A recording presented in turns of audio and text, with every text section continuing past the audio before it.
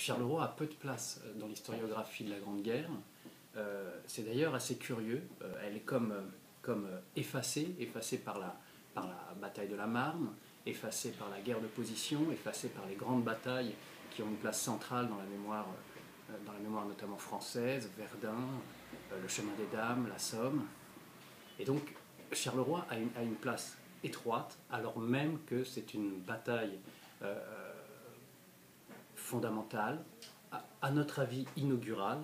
Euh, c'est d'ailleurs euh, la bataille qui a causé les pertes françaises les plus lourdes de toute l'histoire militaire de la France.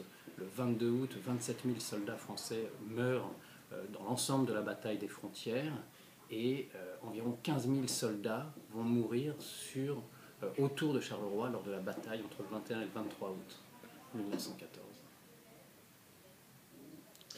Charleroi est en fait la première grande bataille qui voit l'affrontement des armées allemandes et des armées françaises.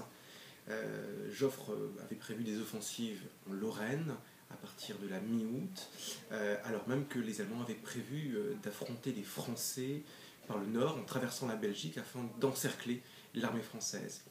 Euh, c'est la cinquième armée qui occupe la position la plus septentrionale, la plus au nord du dispositif mis en place par Joffre, qui euh, se rend compte par des renseignements donnés par euh, l'observation aérienne, donnés par la cavalerie, que les troupes allemandes traversent la Belgique d'est en ouest.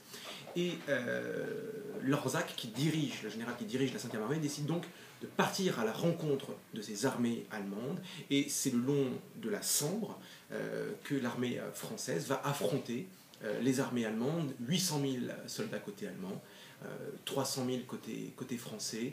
Et cette bataille de rencontre, qui n'était prévue ni par l'état-major français ni par l'état-major allemand, va se dérouler sur trois jours entre Charleroi, la Sambre, la Meuse.